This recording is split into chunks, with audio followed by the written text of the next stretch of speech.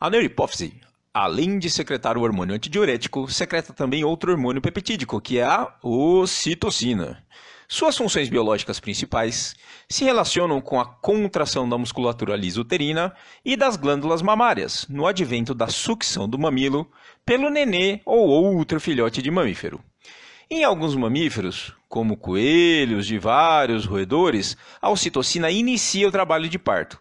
Mas em outros mamíferos, como em nós, humanos, a ocitocina materna não inicia o trabalho de parto.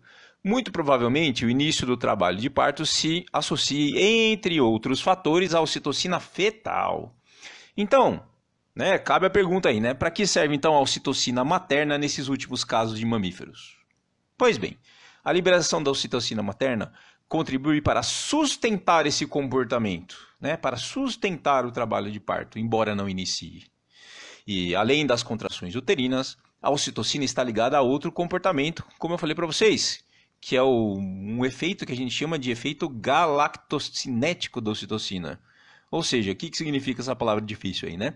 Durante a amamentação, a sucção do mamilo leva ao processo que facilitará a ejeção do leite pela contração da musculatura lisa dos ductos mamários, mas principalmente do miotélio que envolve o alvéolo das mamas, liberando o leite para o nenê ou para o filhote.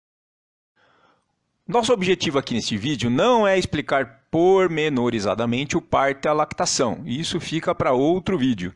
Mas pretendo explicar aqui para vocês como a ocitocina é liberada nesses contextos, né, do parto e da lactação, induzindo seus efeitos mais gerais nas musculaturas lisas, né, as musculaturas lisas que são os alvos da ocitocina, né, a uterina e a mamária. Muito bem, em relação ao trabalho de parto, temos que dizer que durante um bom tempo de gestação, o útero é simplesmente insensível à ocitocina. Né? A ocitocina não exerce qualquer efeito na musculatura do útero. E apenas depois de certo tempo passado de gestação, a sensibilidade da musculatura uterina à ocitocina aumenta. Muito provavelmente, esse aumento de sensibilidade a partir de determinado ponto da gestação acontece porque o número de receptores de ocitocina no tecido muscular uterino aumenta, né? aumenta com o tempo, chegando ao topo perto do momento do parto. Nesse sentido, usando as mulheres né, como exemplo de mamíferos, é, para a gente ter uma referência temporal né, em números aí para vocês. Então, nas mulheres nós temos o quê? Até cerca de 20 semanas, o útero é insensível à ocitocina. Porém, a sensibilidade a ela começa a aumentar a partir desse ponto, desse momento, né? a partir da vigésima semana, aproximadamente. Chegando a cerca de 80 vezes mais sensibilidade aproximadamente lá na 36ª semana, né? E aumentando ainda né, mais um pouco, chegando ao seu topo, né, ao platô, perto do parto nas semanas subsequentes. Né? Então, note que aí está usando como referência as mulheres, portanto, nós temos esses números aí apresentados.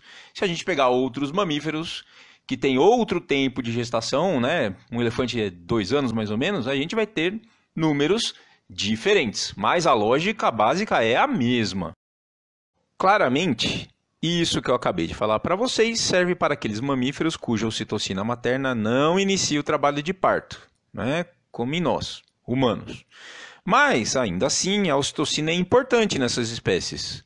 Para quê? Né? Para que o trabalho de parto avance, se concretize. Agora, qual é o evento que leva à liberação de ocitocina materna?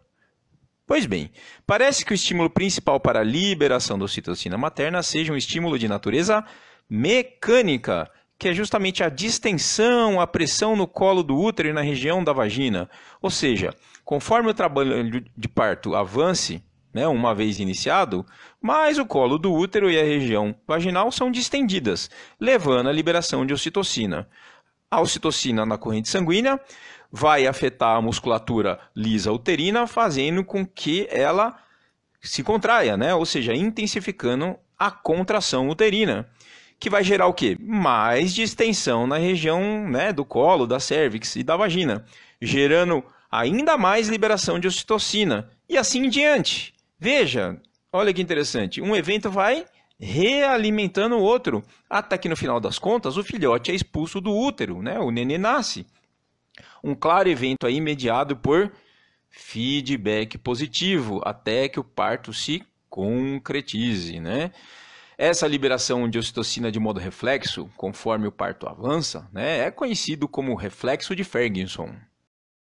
Durante o parto, a sinalização para a liberação de ocitocina ocorre aparentemente da seguinte maneira: quando ocorre a distensão do colo do útero, né, ou cervix, e da vagina, a estimulação de mecanorreceptores daquela região.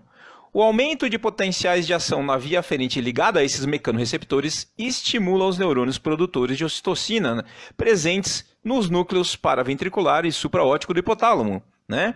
E esses potenciais de ação vão chegar nessa região hipotalâmica via medula e tronco encefálico. O resultado desse processo, então, é o aumento da liberação de ocitocina e sua participação no parto, né, intensificando a contração uterina, auxiliando né, a liberação do nenê, né, o nascimento do nenê, né, expulsando o filhote do útero. Em relação à lactação e à glândula mamária, também teremos um mecanismo reflexo que leva à liberação de ocitocina, facilitando a liberação do leite. Podemos dizer que a ocitocina tem um efeito galactocinético nas mamas, ao produzirem justamente a injeção do leite.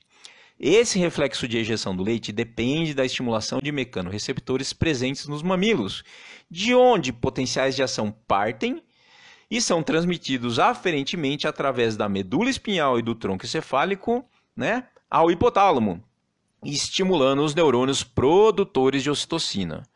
Novamente, teremos um feedback positivo que retroalimenta o processo, permitindo o aleitamento até que este evento de aquisição do leite pelo nenê ou por outro filhote qualquer cesse e outro evento não se inicie.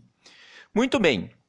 Embora menos compreendido, estímulos de outras naturezas, como sons específicos emanados dos filhotes de mamífero, como o choro do nenê, tá? Afinal, né, quem não chora não mama, não é verdade? Meu Deus, que piada horrível, mas tudo bem.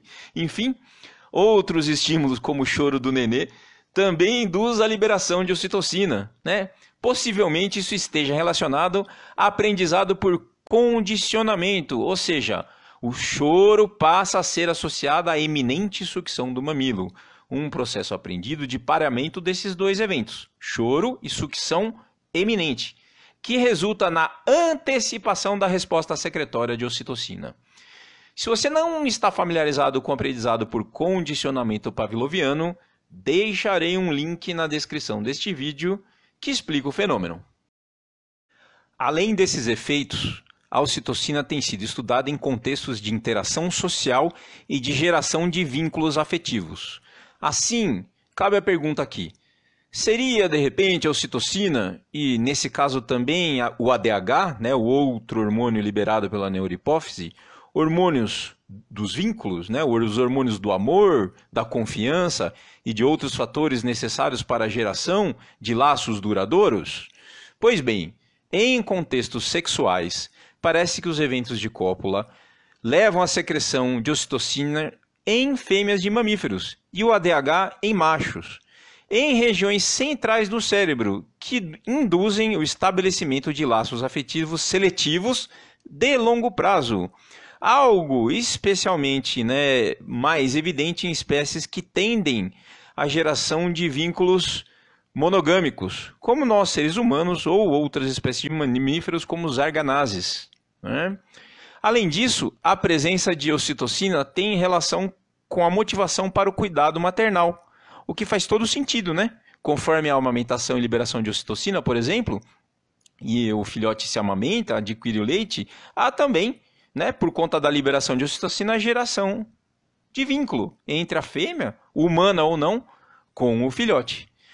No caso dos cuidados paternos, isso está mais envolvido com a ação no cérebro do ADH, né, do hormônio antidiurético. Note então aqui que isso é mais uma característica marcante do contundente dimorfismo sexual, tá? Nos cérebros de machos e fêmeas, de homens e mulheres.